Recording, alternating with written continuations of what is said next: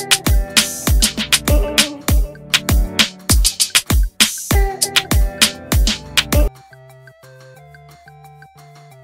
ลลี่นางเอกร่ำไห้ไฮโซดังโกง 34 ล้านไม่มีบุญเป็นดาราดังไม่เป็นก็ได้คืนเงินหนูมาเถอะ หนูยังมีพ่อแม่พ่อแม่หนูป่วยลิลลี่วันมณีนางเอกร่ำไห้ไฮโซดังโกง 34 ล้าน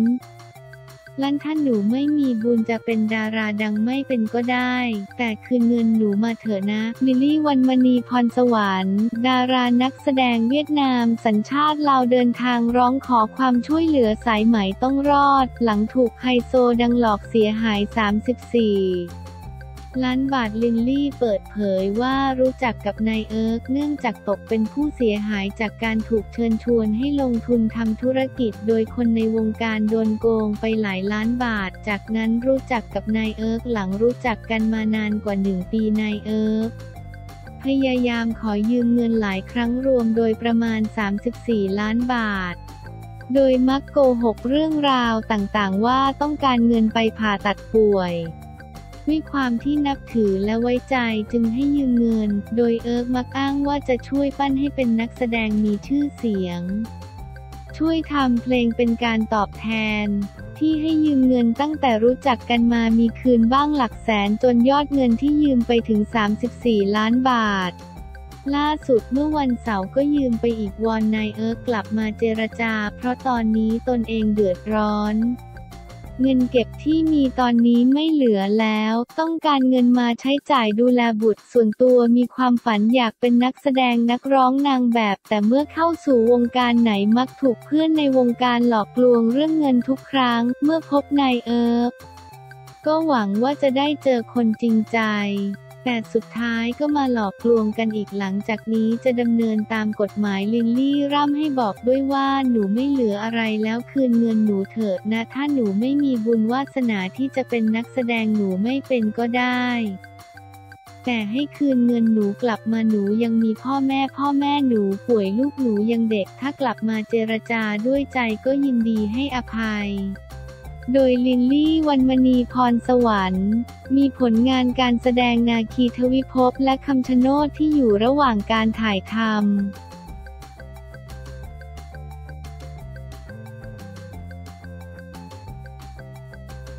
หมูถึงกับโพสในนภัสงานเข้าแล้วเจอคนจริงบุกถึงตัวทวงคืน ใบเฟิร์นแม่หมูถึงกับโพส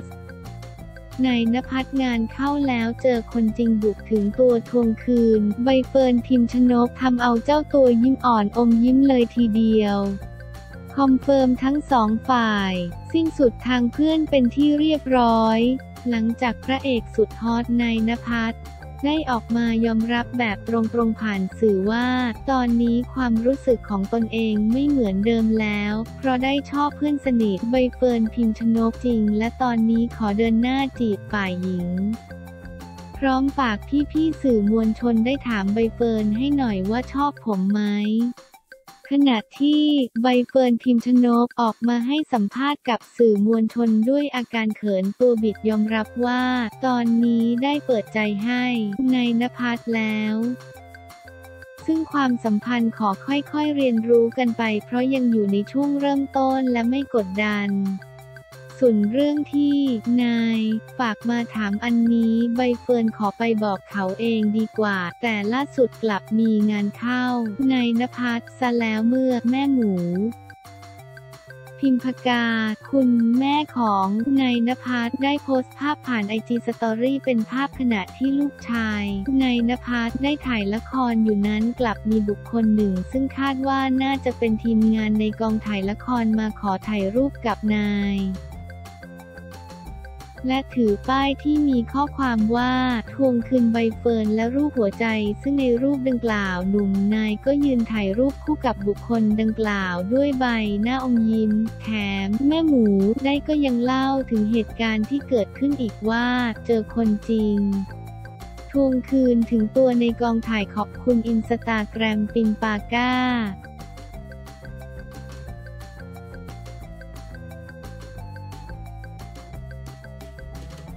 ดูให้มันชัดๆ ตักฟาดหลักฐานให้เห็นเต็มๆ ตาหลังเจอคอมเมนต์เป็น เมียน้อย ดูชัดๆ เมียน้อยไหม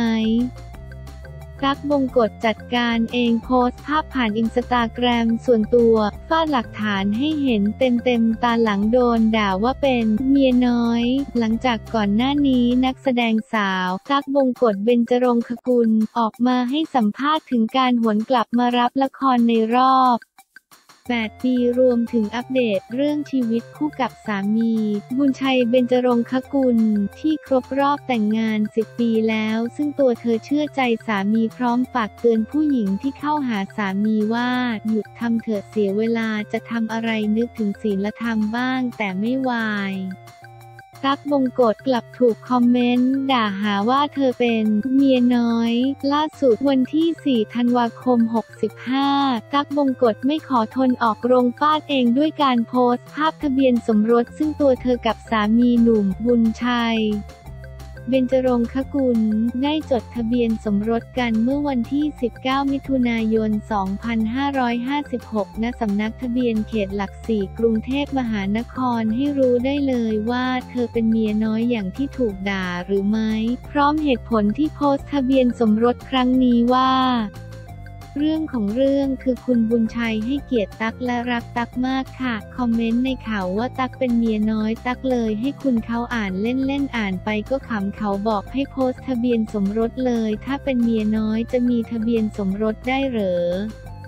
เป็นไอเดียของสามีค่ะโพสต์นี้เขาคงห่วงลูกชายไม่อยากให้ใครมาตำหนิแต่เราก็ชินนะเพราะอยู่มานานวงการคอมเมนต์เป็นเรื่องไร้สาระแต่สามีไม่ชินขอบคุณอินสตาแกรมบองขีดล่างคอดขีดล่างตาก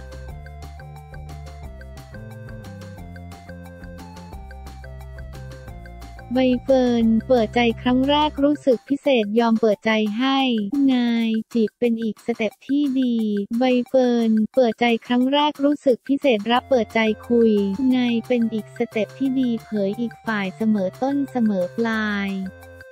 แต่ยังเป็นเพียงก้าวแรกที่จะเรียนรู้ เมื่อวันที่ 3 ธันวาคม 65 นางเอกสาวใบเฟิร์นพิมชนกเปิดใจครั้งแรกหลังพระเอกนายนภัสประกาศสิ้นสุดทางเพื่อนประกาศผมชอบใบเฟิร์นว่านายได้โทรมาสารภาพกับหนูเราได้คุยและเปิดใจกันมากขึ้นโดยเราขอบคุณเขาที่ให้เกียรติเรา ตอนนี้สถานะเป็นอีกสเต็ปหนึ่งที่ดีและเพิ่งเริ่ม ตอนแรกก็ตกใจ ก่อนหน้านี้นายดีกับเราอยู่แล้ว ช่วงหลังเขาเข้าหาเรามากขึ้น โดยนายดีเสมอต้นเสมอปลาย โดยนายเข้ามาเยอะจริงเรารู้สึกดีที่รู้จักเขามากขึ้น เมื่อถามว่านายไปปรึกษาคนรอบข้างเรื่องนี้และโทร มาสารภาพ ใบเฟิร์นกล่าวว่าตอนนายโทรมาสารภาพก็ได้คุยหลายอย่าง ได้แลกเปลี่ยนความเห็นกัน ซึ่งต้องขอบคุณคุณพี่หนุ่มกัญชัยงั้นคงไม่มีคนมาสารภาพ ซึ่งเราก็ตกใจและหัวเราะไปก่อน หัวเราะแก้เขิน เรารู้สึกดีและพิเศษกับนายหลังจากที่ได้คุยกัน ใบเฟิร์นเปิดใจ เมื่อถามว่านายฝากมาถามจะจีบจะรับหรือไม่ใบเฟิร์นตอบว่าขอไปบอกนายเองดีกว่าเมื่อถามว่าตอนนี้เปิดใจกับนายไหมใบเฟิร์นพยักหน้าและพูดว่าอือหือนายเป็นคนดีและน่ารักโดยน่ารักกับเราและเพื่อนๆด้วยหลังจากนั้นก็ได้คุยกับแม่หมูด้วย แต่ขอไม่บอกว่าคุยอะไร ความสัมพันธ์จากนี้เป็นอีกก้าวหนึ่งและเป็นทิศทางที่ดี ค่อยๆเรียนรู้กันไปซึ่งคงเป็นจังหวะเวลาที่เหมาะสม เพราะก่อนนายจะพูดอะไรคงคิดมาดีมากแล้วเมื่อถามว่าที่ผ่านมาโสดและกลับมามีความรักใบเฟิร์นตอบว่าเป็นเรื่องที่ดีส่วนตัวไม่ใช่เรื่องที่กดดันสิ่งที่เรามีคือความหวังดีไม่ว่าจะสถานะเปลี่ยนไหมก็มีความหวังดีเฟิร์นไม่กดดัน เป็นเรื่องที่น่ารักและเรื่องดีๆ เมื่อถามว่าตอนจบจะเหมือนในหนังสิ้นสุดทางเพื่อนหรือไม่ ใบเฟิร์นกล่าวว่าตอนนี้เพิ่งก้าวแรกอยากให้ค่อยเป็นค่อยไปเมื่อถามถึงเพจทวงคืนทั้งสองคนใบเฟิร์นกล่าวว่า เห็นแล้วก็น่ารักดีก็เข้าไปอ่านอยากขอบคุณที่เป็นกำลังใจและทวงคืน อยากให้ทวงคืนตลอดไปส่วนจะเหมือนพี่แดนกับแพตตี้หรือไม่ ให้ปล่อยเป็นธรรมดาตอนนี้ก็ยิ้มยิ้มหลังจากนายให้สัมภาษณ์ยังไม่ได้เจอกันเพราะนายติดงานละครเราสองคนเข้าใจการจับตาปกติคุยโทรศัพท์กันอยู่แล้ว หลังจากดูคลิปนายก็เขินไม่ต่างกับทุกคน โดยนายโทรมาบอกก่อนจะสารภาพแต่ไม่คิดจะพูดตรงขนาดนี้ โดยดูนายให้สัมภาษณ์ถึงสองรอบเลยืนยันตอนนี้ยังไม่ใช่แฟนแต่ขอศึกษาก่อน ซึ่งตอนนี้เป็นสเต็ปที่ดีมาก เมื่อถามว่าอยากฝากบอกอะไรนายหรือไม่ ใบเฟิร์นกล่าวว่าไม่ดีกว่าเดี๋ยวไปบอกด้วยตัวเอง ฝากเป็นกำลังใจให้พวกเราด้วย